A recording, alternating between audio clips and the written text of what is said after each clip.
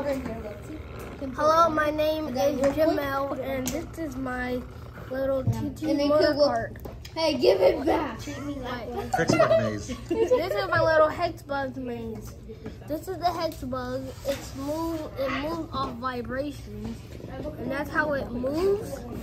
And this is my maze I created.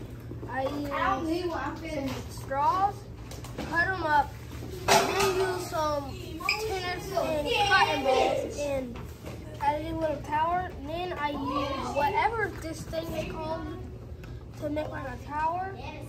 And now I use some of the extra cotton balls to make a little snow around my stuff. And then I added some of the glue to make the straw motors that have webs on it. And yeah, so this is my whole entire project. Put your Hexbug in there. And